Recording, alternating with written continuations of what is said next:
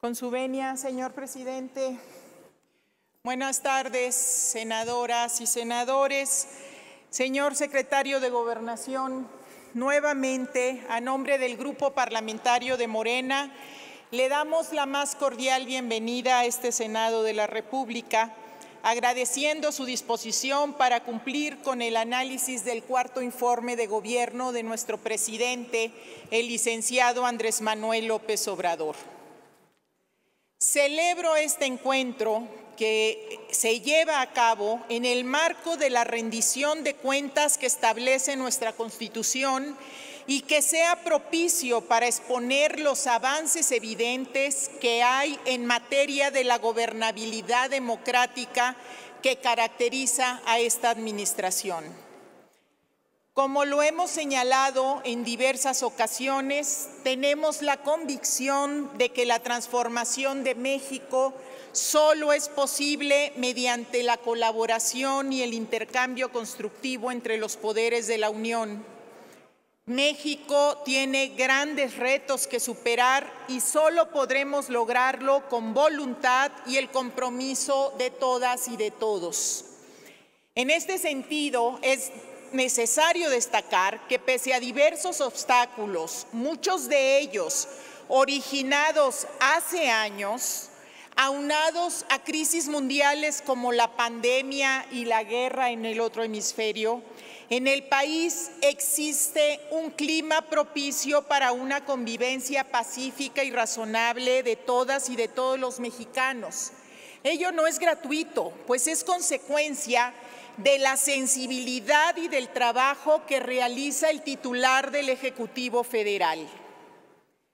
Sin duda, uno de los aspectos fundamentales del trabajo que inició en diciembre del 2018 y que comienza a dar resultados. México, aunque les pese, está cambiando. Hoy vivimos en un país con mayores libertades.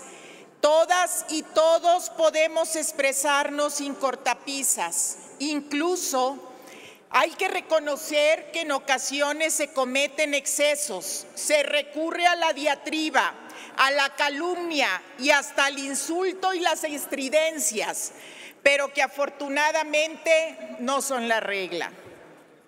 La tolerancia y el respeto han sido las divisas de este gobierno que casi siempre en esta casa practicamos y en esta comparecencia no ha sido la excepción.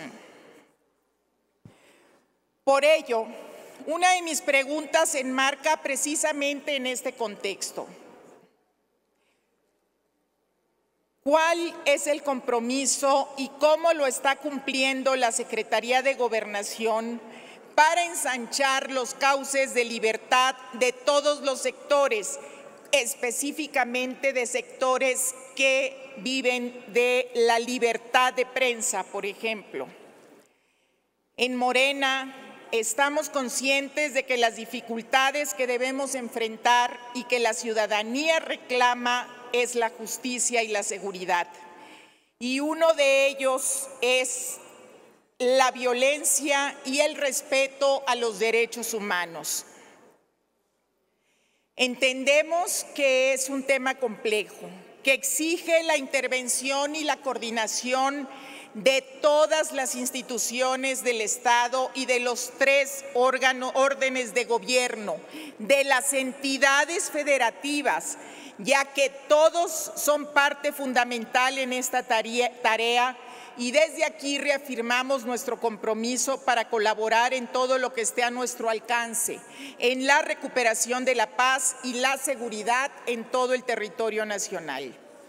Respaldamos la política del Gobierno de la República y me gustaría también que desde el ámbito de su responsabilidad abundara en este tema que es la principal preocupación ciudadana y también en, desde esta caja de resonancia para que no se queden con la idea de mentiras, de tergiversaciones y manipulación que quieren hacer creer a través de gritos y tuitazos. De igual forma, el gobierno está comprometido con la premisa fundamental de la vigencia y pleno ejercicio de los derechos humanos. Por ello, se han emprendido diversas acciones como el Registro Nacional de Personas Desaparecidas o No Localizadas y la creación de la Comisión para el Acceso a la Verdad.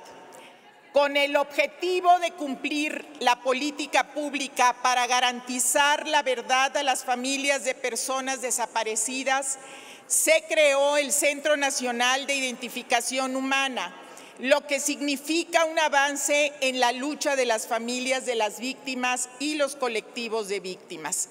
Y también debo destacar la reciente creación del modelo integral de prevención primaria de violencias contra las mujeres y del modelo para la atención y protección integral de mujeres que viven violencias. Estos modelos contribuyen a prevenir y atender esta problemática inadmisible Sé que no son suficientes dada la magnitud del problema, pero son un gran paso. Y en este tenor le pregunto, señor secretario, ¿cuál es la importancia de la cooperación institucional para la efectiva prevención y erradicación de las desapariciones? Y decirle, como usted sabe, que en este Senado de la República, en el que existe paridad de género y desde donde hemos impulsado que se apliquen políticas y acciones para garantizar la participación activa de las mujeres, Quisiera preguntarle qué otras acciones está haciendo el Gobierno de la República para alcanzar los objetivos de, que las mujeres podamos tener una vida libre de violencia. Y en el mismo sentido, ¿qué hace la Secretaría que usted encabeza para asegurar que las mujeres ocupemos los espacios que por justicia nos corresponden?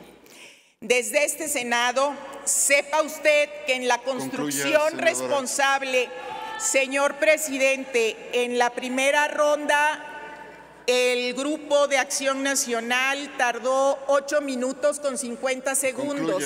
y en la segunda ronda utilizaron también un tiempo.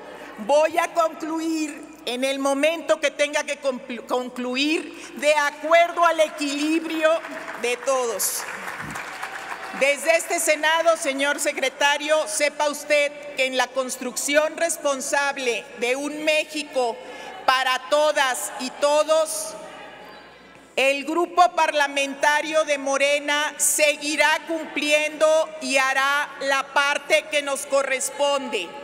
A pesar de los gritos, a pesar de la calumnia, a pesar de tratar de llamar la atención para tener un minuto de gloria en redes, en Morena vamos a seguir cumpliendo con México.